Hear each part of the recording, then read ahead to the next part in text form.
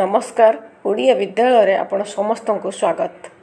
ସୌମ୍ୟରଞ୍ଜନଙ୍କର ମୃତ୍ୟୁ ମାମଲାରେ ଗତକାଲି ଆପଣ ଜାଣିଥିବେ କିଏ ସେଦିନ ରାତିର ଆମ୍ବୁଲାନ୍ସ ଡ୍ରାଇଭର ଥିଲେ ତାଙ୍କୁ ଜେରା କରାଯାଇଥିଲା କ'ଣ କିଛି ସତ ବାହାରିବ ବୋଲି। କିନ୍ତୁ ତାଙ୍କ କଥା କହିବା ଅନୁସାରେ ସେଦିନ ରାତିରେ ତିନି ଜାଗା ହିଁ ଆମ୍ବୁଲାନ୍ସ ଅଟକିଥିଲା ଆମ୍ବୁଲାନ୍ସର ସ୍ପିଡ୍ କେତେ ଥିଲା ପଚାରିବାରୁ ସେ କହିଥିଲେ ନାଇଁ ନର୍ମାଲ ଯେତିକି ଆମକୁ ଏଲାଉ ଥାଏ ସ୍ପିଡ୍ ସେଇ ସ୍ପିଡ୍ରେ ହିଁ ଗାଡ଼ି ଯାଇଥିଲା।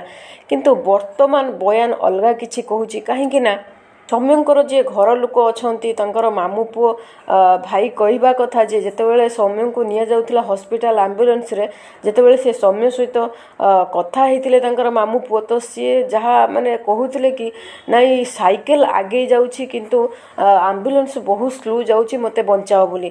ନିଶ୍ଚିତ ଭାବରେ ବୟାନରୁ ଆପଣମାନେ କିଛି ବୁଝିପାରୁଥିବେ କାହିଁକି ଆମ୍ବୁଲାନ୍ସ ଏତେ ଧୀରେ ଯାଉଥିଲା।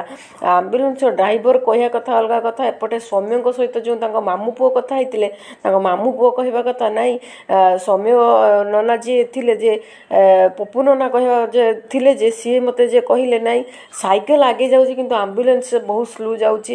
ଏତେ ସ୍ଲୋ ଗଲେ ମୁଁ କେମିତି ବଞ୍ଚିବ କେତେବେଳେ ପହଞ୍ଚିବ କେତେବେଳେ ଭଲ ହେବି? ନିଶ୍ଚିତ ଭାବରେ କଥା ଯେହେତୁ ଏମିତିକା ହେଇଛି ବର୍ତ୍ତମାନ ଆମ୍ବୁଲାନ୍ସକୁ ନେଇକି ବହୁତ ପ୍ରକାର ଡାଉଟ୍ ବର୍ତ୍ତମାନ କ୍ରିଏଟ୍ ହେଉଛି। କାହିଁକି ନା ଆମ୍ବୁଲାନ୍ସ କେତେ ସ୍ପିଡ୍ ଯାଉଥିଲା କିଏ କେମିତି ଜାଣିବ? ତ ସୌମ୍ୟଙ୍କ କଥା ଅଲଗା ଏଠି ଡ୍ରାଇଭରଙ୍କ ଯିଏ ଡ୍ରାଇଭିଂ କରୁଥିଲେ ତାଙ୍କ କହିବା କଥା ଅଲଗା। ଯେ ନାଇଁ ନର୍ମାଲ ସ୍ପିଡ୍ ଥିଲା ଯେତିକି ସ୍ପିଡ୍ ଯିବା କଥା ଯାଉଥିଲା କିନ୍ତୁ ସୌମ୍ୟଙ୍କ କହିବା କଥା ବହୁତ ସ୍ଲୋ ଯାଉଥିଲା। ଆହୁରି ମଧ୍ୟ ଡ୍ରାଇଭରଙ୍କ କହିବା କଥା ଗାଡ଼ି ତିନି ଜାଗା ହିଁ ରହିଥିଲା ଆଉ କୁଆଡ଼େ ରହିନଥିଲା ସ୍ପିଡ୍ ହିଁ ଯାଉଥିଲା। ନିଶ୍ଚିତ ଭାବରେ ଏଇ ରେକର୍ଡରୁ କିଛିଟା ଡାଉଟ୍ ହେଉଛି ନିଶ୍ଚିତ ଭାବରେ ଆମେ କହିପାରିବା କାହିଁକି ଆମ୍ବୁଲାନ୍ସ ଧୀରେ ଯାଉଥିଲା କାହିଁକି ଡ୍ରାଇଭରଙ୍କର ଅଲଗା କଥା ଏପଟେ ସୌମ୍ୟଙ୍କର ଅଲଗା କଥା ଥିଲା ଯାହା ତାଙ୍କ ମାମୁଁ ପୁଅ କହିଛନ୍ତି। ନିଶ୍ଚିତ ଭାବରେ ଏଥିରୁ କିଛି ସୁରାକ ମିଳିବ ବୋଲି ଆଶା କରାଯାଉଛି ତ ଏଥିରୁ ନିଶ୍ଚିତ ଭାବରେ କିଛି ସତ ବାହାରିଲେ ତ ଆଗକୁ ତଦନ୍ତରେ ସାହାଯ୍ୟ ହେବ ବୋଲି ଆଶା କରାଯାଉଛି। ତ ଆପଣଙ୍କ ମତରେ କ'ଣ ରହିଛି? କିଏ ସତ କହୁଛି? ଡ୍ରାଇଭର ସତ କହୁଛି? ଆମ୍ବୁଲାନ୍ସ ଡ୍ରାଇଭର ସତ କହୁଛନ୍ତି ନା ସୌମ୍ୟଙ୍କ ଫ୍ୟାମିଲି ସତ କହୁଛନ୍ତି? ନିଶ୍ଚିତ ଭାବରେ ଆପଣମାନେ କମେଣ୍ଟ କରନ୍ତୁ। ରହୁଛି ନମସ୍କାର।